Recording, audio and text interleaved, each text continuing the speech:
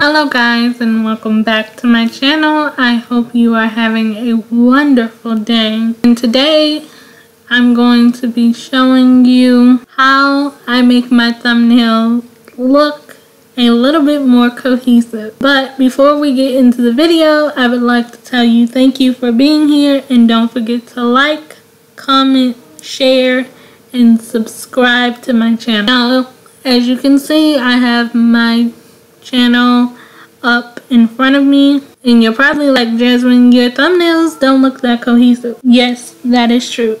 But this is something I've been implementing to my main channel over the last couple of months. If you notice, over the last couple of months, you've been seeing purple and white writing on my thumbnail. And they tend to have a purple border. And I've done that because I've decided my channel colors for my main channel is going to be purple and white. And since I started my gaming channel and I was like I'm gonna do this cohesion theme of thumbnails right from the beginning. So if we go over to my gaming channel and if you have not been over here and you're wondering where the story videos on my main channel have gone, they have moved over to my gaming channel. So if you noticed on my gaming channel, it has a blue and white theme and all of the thumbnails look pretty cohesive because they have that phone style template with the background and then they have the blue and white writing. So I'm going to show you how I've done that and what I've done to do that. I've used Snappa. Snappa is a create graphics website and I also believe, if I'm not mistaken, it's an app you can use on your phone. But I'm doing this from my computer because this is how I always use Snappa. But I also believe you can use it from your phone.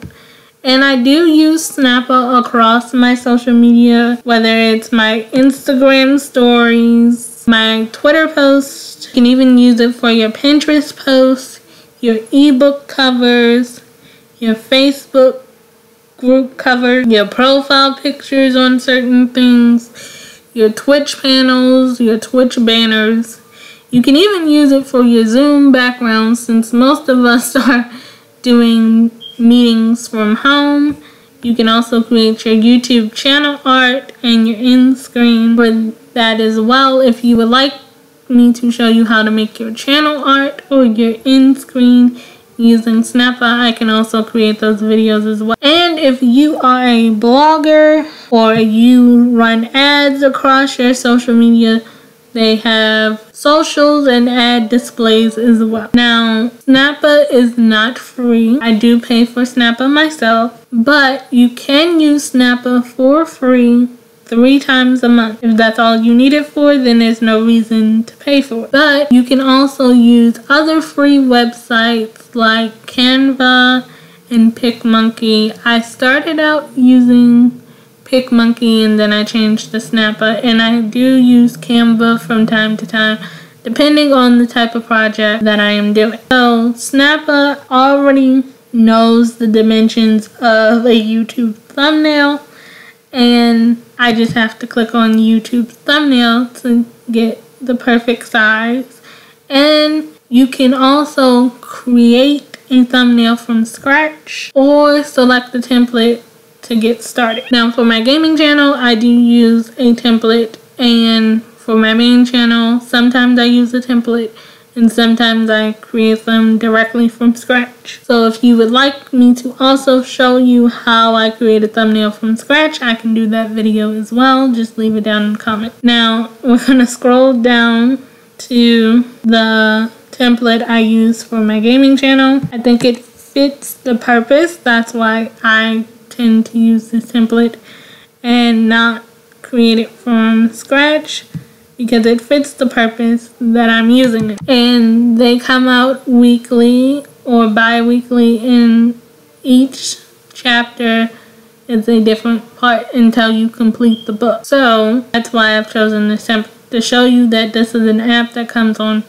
your phone, your iPad, or whatever device you choose. And I like to show you what chapter it is, but I just like to say part instead of chapter because it fits perfectly in the triangle. So to start off on our background, now when you click on background, there's a whole lot of pictures that pop and if you're searching for a specific picture, if you did not take one with your camera or take a screenshot from your video, you can just search the type of picture you're looking for. Like for example, Christmas.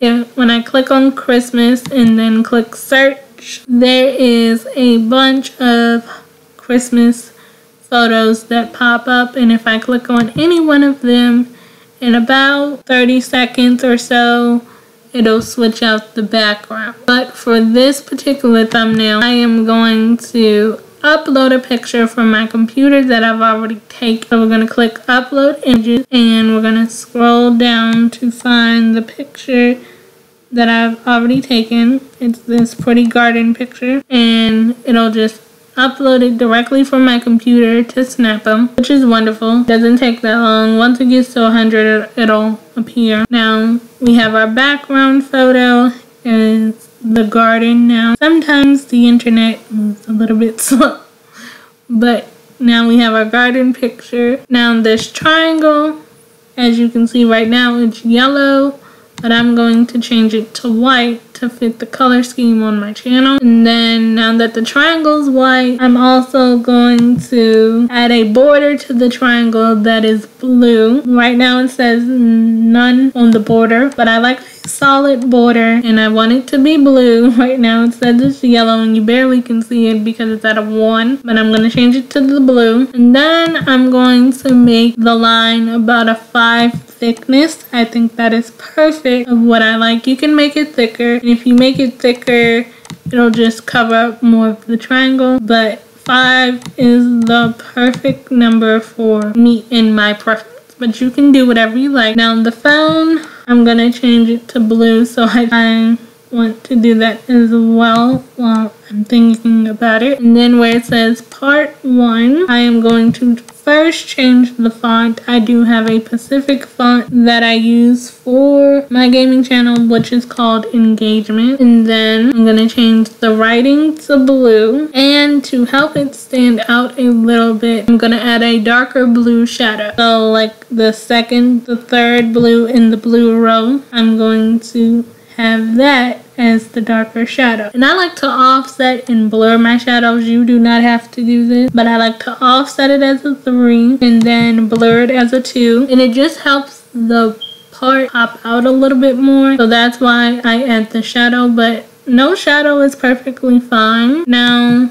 I'm also going to change where it says part 1. I'm going to make it say part 3 because this is for chapter 3 in the book. Now this Mario head that's inside the phone and mind you I used to love playing Super Mario Brothers when I was a kid. Game that I always found fun and relaxing. So we're to delete the Mario head and then we're to click on graphic and then we're to click on upload because I already have the picture uploaded in Snappa that I'm going to use for the graphic inside the phone. Now the the photo is a little bit bigger than the phone, so I'm gonna shrink it down and then put it inside the phone like so, but I'm gonna turn it so and then size it enough to where it fits in the phone. If it doesn't fit perfectly, that's perfectly fine to me as long as it's as centered as I possibly can get it. Because I do like to have a little bit of the white inside of the phone showing. If it bothers you, you can take the layer off or whatever you're doing and then put it back once you size the picture perfectly over the paper in the background. But this works for me.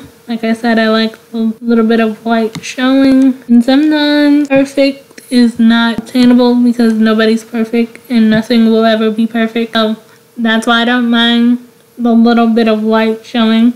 As long as it looks like the pictures inside the phone for me it's good. Now we're gonna add the title where it says Super Mario Brothers.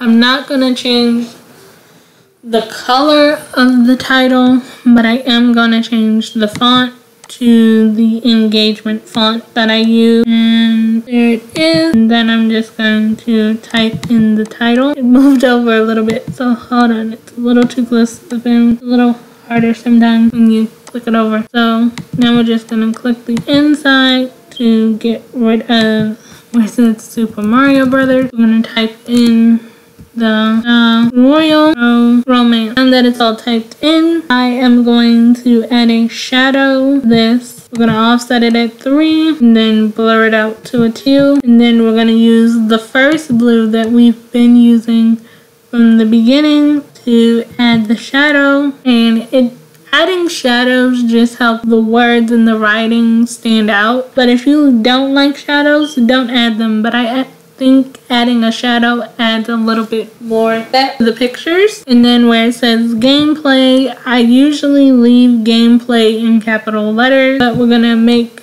gameplay blue. We're gonna make it opposite of the top. We're gonna make sure it's in, still in the engagement font though. And then for the gameplay, we're gonna make their shadow white, but we're gonna offset it at a three like we've been doing and blurring a 2. And the last thing we're going to add is the border.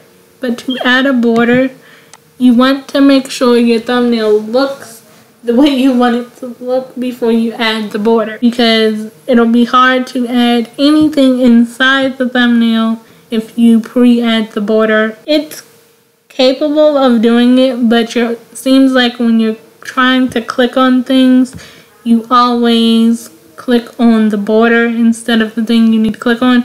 So I add the border last. So to do that, I click on shape. I click on the rectangular shape and I just do my best to match this to the frame of the picture. And sometimes I don't always get this perfectly but it's okay. And border is there. Now where it says border I want to make sure it's solid. It's already solid. And then it's at a 10 it's at the perfect complement. And then I just change it to blue and see where it's sticking out over the edges. Make it fit nicely. I'll just make sure you can see it, then click it, look at it one more time, and my thumbnail is complete. The last thing I have to do is just down, click download. When you click download, you want to make sure you click web optimized JPEG and it'll make it sure that it's the resolution it needs to be to upload to your YouTube channel. So that's how I've made all my thumbnails cohesive on my gaming channel. And I do the same sort of thing to my main channel. It's just that I make those thumbnails from scratch. So like I said, if you want to see me make a thumbnail from scratch, instead of using a Snappa template, just let me know and I will do that. And remember, I'm always thinking of you, sending my love, and bye for now.